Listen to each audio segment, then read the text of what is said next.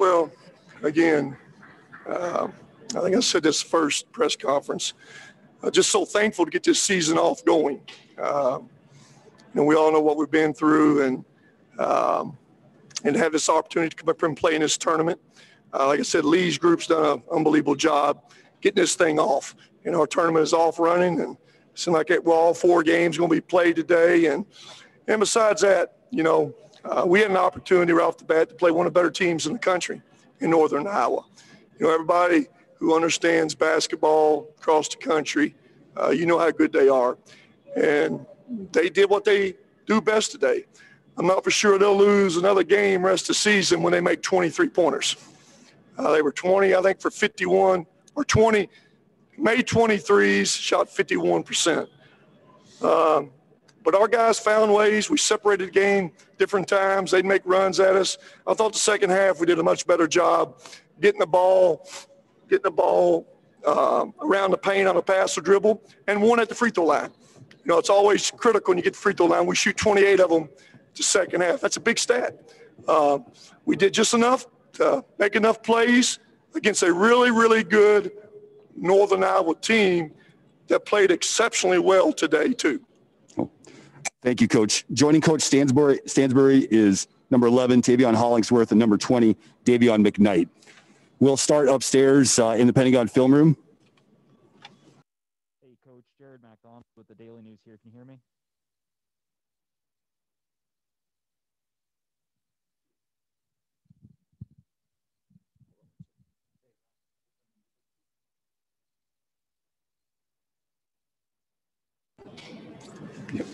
Hey, Coach. This is Jared McDonald with the Daily News. Can you hear me?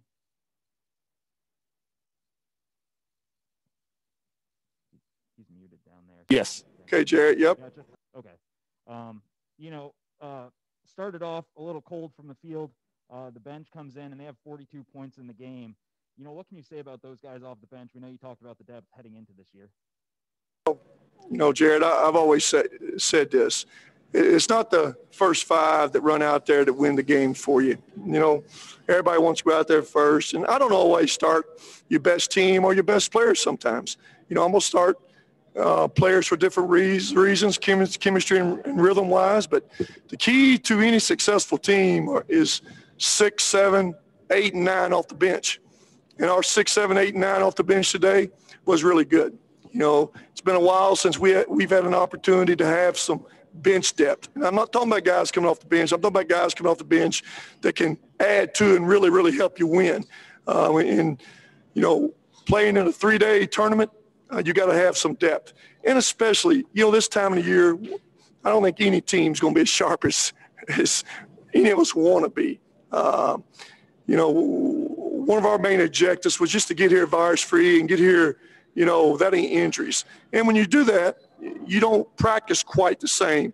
You know, you don't go quite as hard physically to avoid those in- injuries. And I thought that probably showed the first time. And again, Charles hadn't been on the court for, you know, a year and a half. And, you know, I thought some of us got tired. But again, uh, the bench was tremendous for us. And, you know, this guy sitting, sitting beside me here was one of those guys off that bench was huge for us. McDonald with the Daily News again. Uh, I know you just mentioned Dayvion slightly, but him and Luke Frampton have really good – Hilltopper debuts. What can you just say about their first game here with Western Kentucky? You know, you know what both of them did is kind of what what we think they're all capable of doing. You know, Dayvion's got great ability to get that ball to the rim and finish. Um, I think he's a really good defender and uh, he can pass the ball. And what he did, you know, we see every day. I've seen that. You know, Luke um, did what he does best. He made some shots. He gives you a guy out there, got some cerebralness about him. And again, we made some mistakes defensively. We had some mix-ups. Uh, we had some, um, you know, um, shots that we gave them that was our fault, but they made them. They still made those shots. We'll get better at those kind of things. But both of those two guys uh, are going to be big for us all year long. And I don't look at them.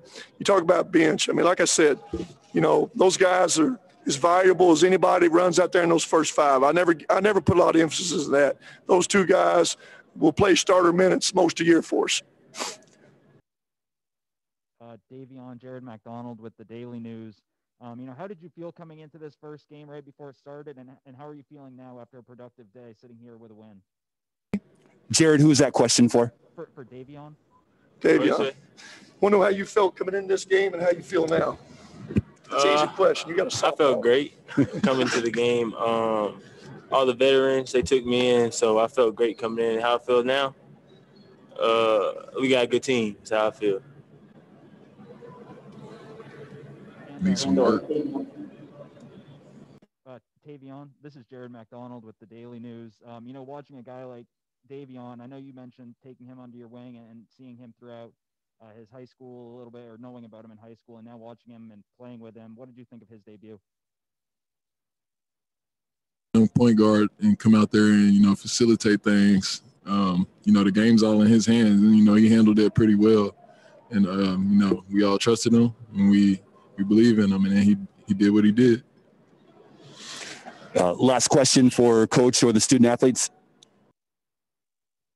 Uh, Coach Memphis next. Um, what do you know about those guys? Well, it's very obvious they're one of the better basketball teams in the country. Um, be a totally different kind of team. Um, talent wise, there's talent, talent as, you know, most teams in America. Uh, so quick, athletic, going to be great off the bounce. Um, won't, will not shoot as well as this team, which no teams will probably. Uh, I'll be very shocked if another team can make 23s against us, but uh, they're a very, very talented team, well coached, and and we got them for a um, early morning special. I think it's 11 o'clock game, so that will be interesting too. All right. Thank you, Jared. Thank you, everybody. Coach, Thanks. players, thank you very much. Yes. Um, for everyone joining us on Zoom, the box, the complete box scores from this game will be posted shortly on SanfordPentagon.com under the game day download story. Also, if you're looking for this press conference, it will be archived on the Sanford Pentagon YouTube channel. We'll have Coach Ben Jacobson in here shortly.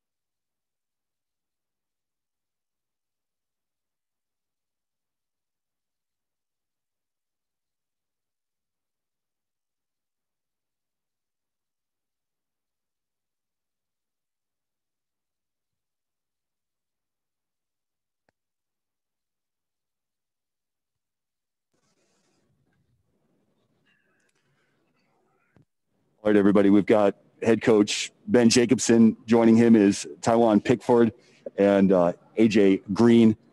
Start with questions via Zoom.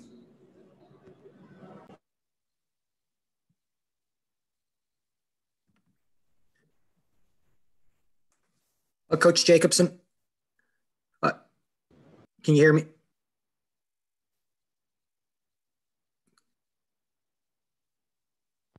Hello? Yes, we can hear you. Okay. Uh, yeah, just uh, your, your team makes a, a program record 23 pointers there today, but uh, just not enough to, to, to, to come out with a win. Uh, how how frustrating was it just to, to see what Western Kentucky was able to do uh, there in transition and, and, and with their ability uh, to, to, to score off turnovers? Yeah, they, they- they got us in some key areas. Uh, but I, man, I first, Nick, I got to start by telling you I'm proud of the guys. You know, we, uh, you know, we knew as the game was going that we had made some mistakes. You know, we made some passing mistakes in the first half. Um, we had some defensive mistakes. We didn't block out a couple times. There were some things that happened, and you know, we got a we got a great group. You know, and they, and they knew we were making some mistakes. I'm I'm really proud of them for digging in and getting that game uh, tied in the middle of that second half. So. Um, I re, you know, there's a lot of things that, that we liked that happened today. Um, and then there's a lot of things we got to get cleaned up, and that goes with with early in the year and the transition defense. You know, a couple of things defensively. Um, again, some of the blockouts, um, some of the ball handling, things that you know are going to happen early in the year. So we'll we'll get them cleaned up and get ready to go tomorrow. Uh, what in particular do you have concerns you on the defensive end? Uh, and, and was it part of it just a matter of what West, Western Kentucky is able to do with their veteran players? Yeah, that's uh, that's an important part of it. We, we played against a team that's good, um, a team that's picked to win their league, uh, a team that's got a bunch of seniors, and they've got very good players. Uh, and then they run their stuff. You know, they, they got out on some turnovers and they got some easy points. Um, we gave them, you know, there's some possessions that we gave them some points. And then they, you know, there's a lot of possessions where they made good plays or they ran good offense and they, they had good possessions and they, you know, they scored against us or we fouled them and put them on the free throw line. And, you know, so we were, we were playing against a good team, well coached and, and very good players. Um, so when you do make, you know, when you do make some mistakes, uh, it, it's really hard when you're playing against a team as good as, as Western Kentucky. Um, you know, I think they, you know, I think they got a good team. They're going to have a very good year. I know uh, Trey hit eight three pointers in a game for you guys last season. Noah fills in for him and knocks down nine. Uh, Bowen uh, looked really good in his first start shooting it as well. Uh, uh, just uh, first game out, how do you feel this offense? you know, look just, as far as the variety of, of, options you have to to knock down shots. Yeah, I mean that's you know that's something that that we feel you know have felt good about in our workouts. You know, we feel great about going forward. You know, our skill level, our, our passing, our understanding at the offensive end.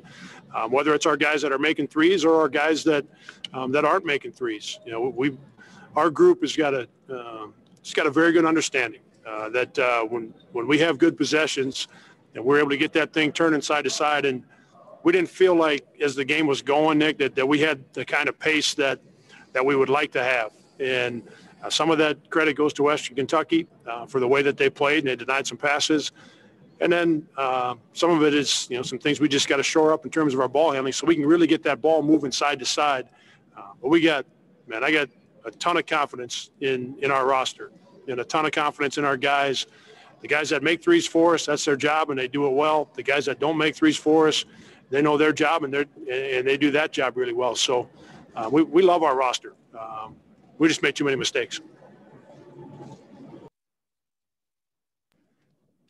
Any questions for the student athletes? Oh, yeah, AJ, uh, I was wondering uh, if you could talk a little bit about just kind of what it's going to take to, to be able to end more possessions with shots uh, on the offensive end and, and, and, what you saw out of this offense with, with uh, some new players in, in the mix here uh, on opening day.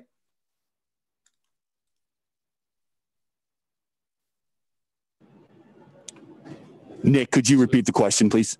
Oh yeah, sure. Uh, uh for AJ, I was wondering, you know, with new players in the mix on, opening day, what would you kind of see out of the offense, and and what do you feel as the season progresses, it's going to take to to end more possessions with a shot on the offensive end?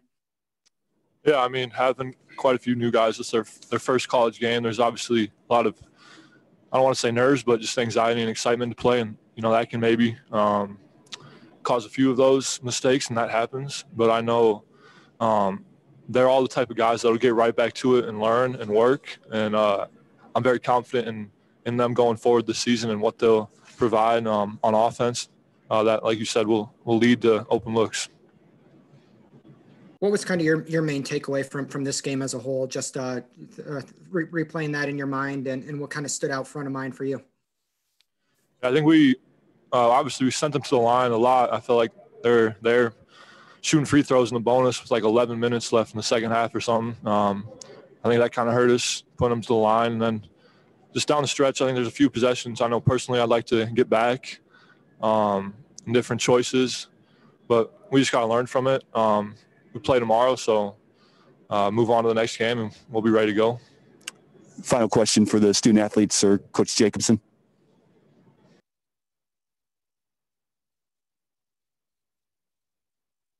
Nick, anything for Tywhon? Uh, sure. Uh, Tywhon, uh, just on, just when you look at kind of the defensive end of the court, uh, you know, what, what are some of the areas that you feel like this team needs to really kind of improve uh, going into the, the next two games here in South Dakota?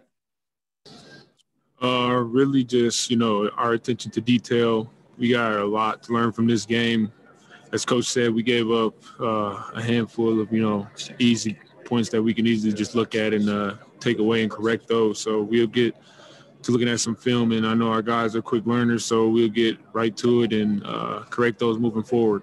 It's uh, early on in the season, so those things kind of type type of things happen early on, and we look to correct those, you know, as soon as we can, so we can move forward and have a great year. Yep. Thank Thanks, you, guys. Coach. Thank you. Okay. Thanks, Nick. Just a reminder, the full box score will be posted on sanfordpentagon.com underneath the game day or in the game day download story.